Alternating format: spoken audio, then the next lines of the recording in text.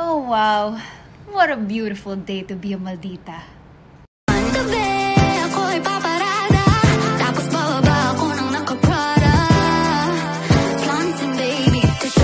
From you is.